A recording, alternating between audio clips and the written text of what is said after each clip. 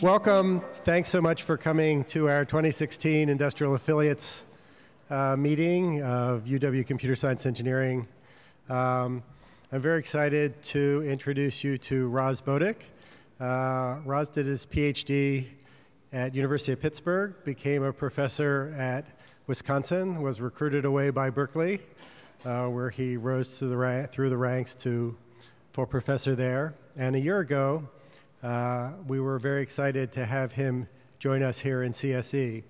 And Ras's arrival really turned uh, our department into probably the top department in the country in programming languages. And today he's going to tell you about some of the exciting and pretty amazing work going on uh, in this department in that area. Ras. Thank you, Hank. Um, thank you all for coming. I hope you'll enjoy this talk and the many talks in the afternoon, as well as the receptions and posters. Uh, glad to have you here. So what I want to talk about today is something that will start very arrogantly, I would say, but I think the terms are right. I want to talk about nothing less than a revolution in programming. And one way how you can define industrial revolution is when machines beat humans in their tasks. And this has in programming happened maybe 50 years ago when people started writing compilers and compilers beat humans. It has recently, maybe 10, 15 years ago, happened in bug finding through test case generation, model checking, and so on, right? Tools can find bugs that humans cannot.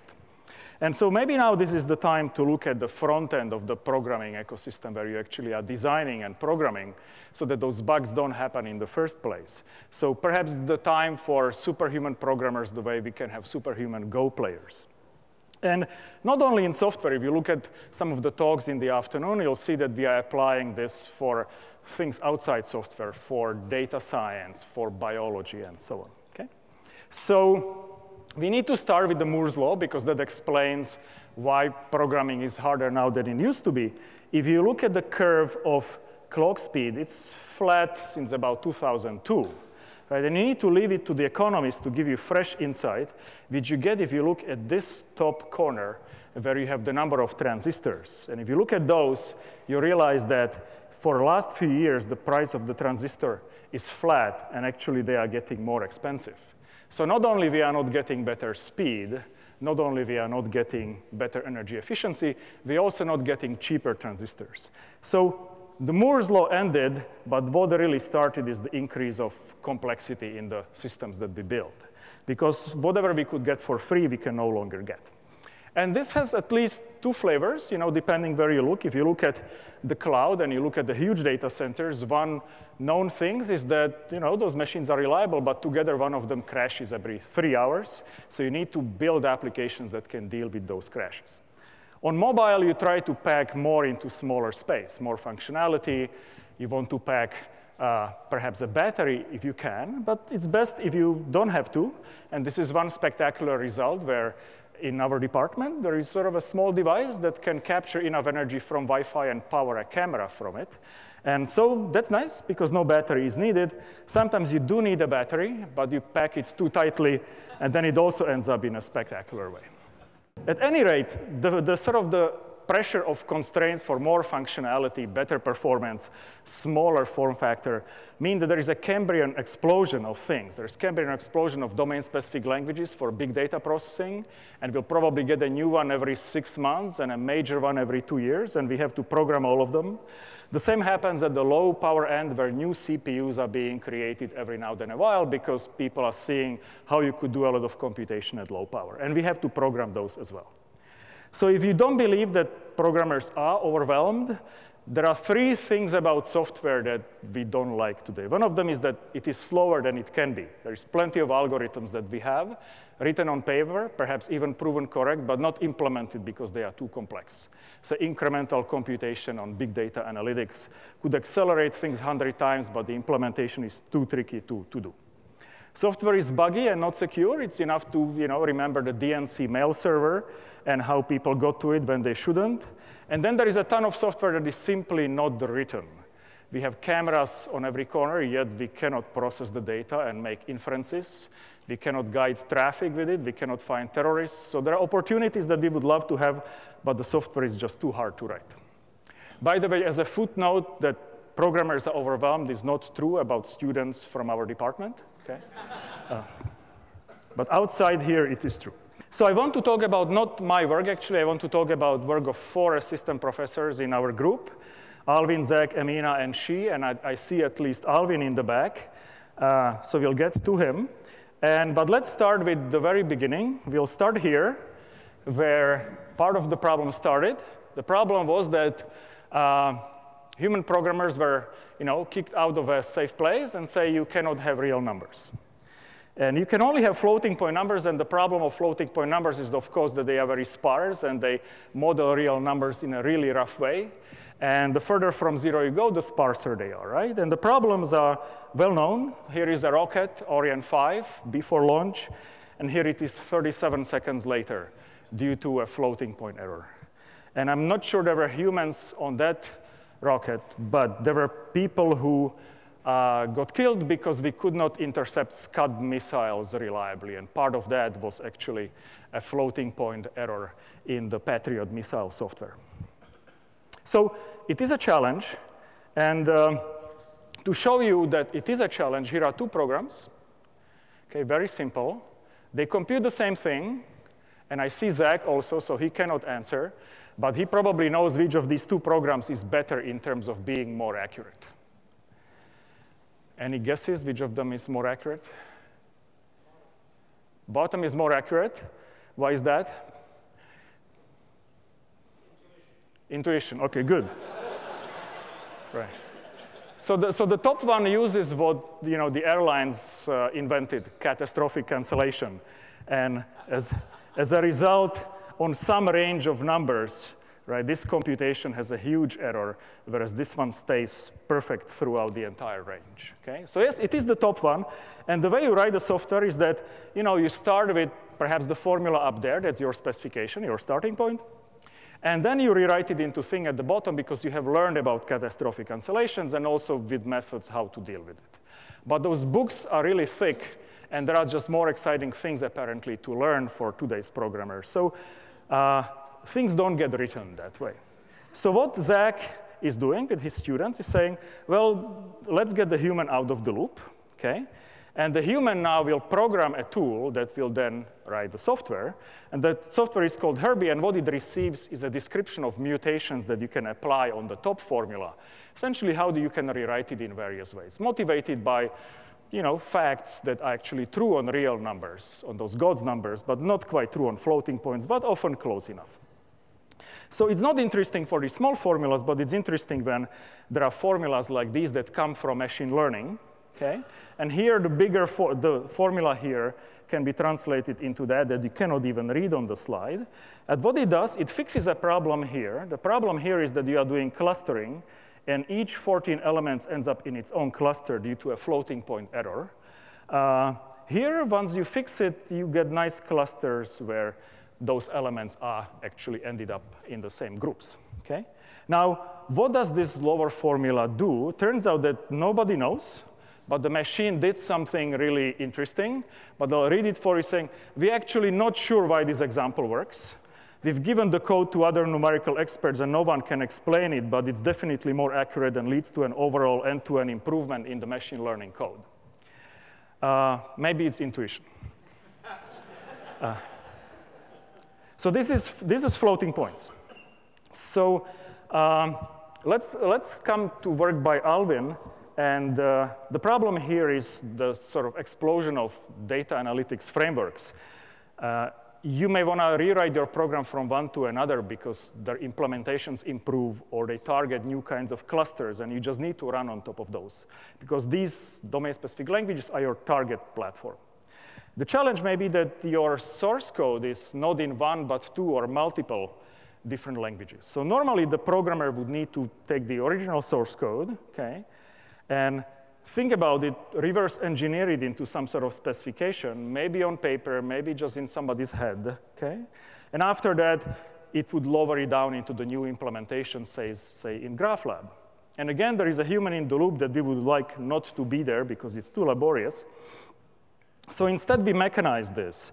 And the mechanization now uses a tool here that does the inference of this high-level tiny spec. Usually it's relatively small. By receiving nothing more than some domain-specific language for these specifications. So perhaps when you are running Hadoop computations, which are map-reduce, this domain-specific language will say, oh, your programs can have a map and a reduce, and that's it. And that's enough for the inference tool to do this operation that is called verified lifting, okay? Uh, Alvin doesn't like that I call it this way, but I forgot to remove it from the slide, so I guess we are stuck for a lecture that is videotaped. And, um, but that's okay, Alvin will start talking with me in a month.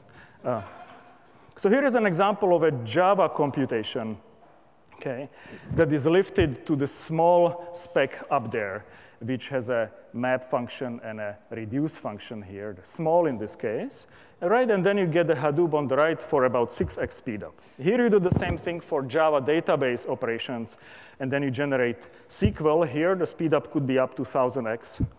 And you could do the same thing from Fortran to Halide and run on GPU for about 17x speedup. Okay? So we are now in a situation where we could use a synthesizer or sort of a new compiler that I don't have time to tell you how it works, but essentially just searches the space of programs until it stumbles to one that is semantically equivalent to the original. It doesn't do the derivation that old compilers did, it just does search. We would like to build these automatically rather than writing each of them laboriously and get a dissertation for it. So here is where Emina's works comes in. She just asks for a specification of the language. Usually the simplest thing to specify is to just write a few lines of an interpreter for that language, kind of simplest map-reduce interpreter, for example. And Rosette then generates this tool. So Rosette is a tool for creating tools, if that's OK and creates that specification. And if you give it then the specification for this stuff, which could be the high performance Halide code, it will do that lowering for you as well, okay? And once you have that, you realize that, hmm, we don't have to do this for just what you would normally call programs. We can also synthesize specifications that are not specification of programs, but you could say semantics of systems. And one of these things is done by Xi Wang, who is in operating systems, and he looks at crashes in file systems. So when someone, like a database developer, writes an application, here I'm saying the database is the application, it will run not on one file system, but a ton of them, right? Because each installation has a different version of a file system. And if you write the database, you probably want that when the system crashes, power or any other issues, the data remain consistent. And you know, the SQLite developers expect that this safe append property actually is true on all of these file systems, which means as you're appending, if a crash happens, you don't expect data to be corrupted. Right? It's atomic, it's either or there or it's not there, okay? So let's see if this is the case. So what they've done, right, they took file system tra traces, essentially execution traces, correct ones, those with crashes, and inferred from those, so not from implementations, specification of the file system, right? So sort of semantics of how the file system behaves. So you no longer have to rely on what you believe might be the case, but you actually get a description of how the file system behaves. And turns out that, okay, half of the six file system actually don't have that property, which seems to be a problem. But never mind, because if you could now give a description of how to synchronize the application, so insert flushes and syncs or whatever they call it in databases, uh, then you can get on the output a corrected applications, which is synchronized in such a way that those dangerous reorderings, which if they happen to meet with the crash, cra uh, destroy your data, those will be prevented. So we cannot quite do it on SQL database yet, but smaller applications are working. So this sort of brings us to what is the role of the human in the entire process, right? So we are moving the human out of the process of manually translating something, either original applications or traces that describes how the system works, to some specification. So that number crunching that is error prone and forces you to examine many corner cases is gone. All we need to specify in what format should these things here be specified. Okay? Not saying that it's easier, but it's different kind of thinking. Here, for example, you need to give an algebra or rules or something that describe how you will specify what is legal and what is illegal in a file system. Probably giving some partial orders between operations is the way how you do it, right? So you don't quite give particular orders, but you say if you can describe the orders, then you have a specification that is sufficient. So essentially give a meta rules or a language for writing these specs. And so in some sense, the human will be shielded from the error-prone number crunching part of the work, but needs to reason at a higher level and be sort of a deeper expert in writing the software. How to automate that, we don't know, just perhaps through better education. So here we are. We believe that the future programming will be in combination of programming languages human-computer interaction because we need to talk to the programmers sort of on a deeper way, in a dialogue, explain what, why what programmers given us is not correct. And of course, compilation for low-power hardware brings in systems, uh, architecture systems, and machine learning is something that could benefit uh, us in, in, in, building better tools that can search bigger spaces of programs and therefore do a bigger, better uh, synthesis. So if you want to hear more talks about how we'll automate programming through program synthesis, programming by demonstration, come to the session that will start in 10 minutes in 403. We'll have talks on synthesis of SQL queries by demonstration, web scraping by demonstration, and synthesis of data structures as well that are optimized for a particular application. With that, thank you very much for your attention.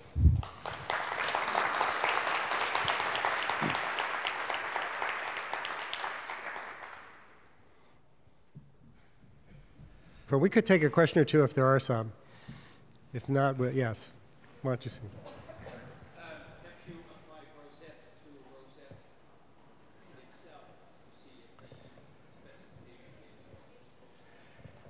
Uh, so the question is whether we applied Rosette to Rosette. And not to the whole thing, but to pieces of Rosette, yes. And not to verify that it is correct, but I believe optimize some implementation of it. Great question, by the way.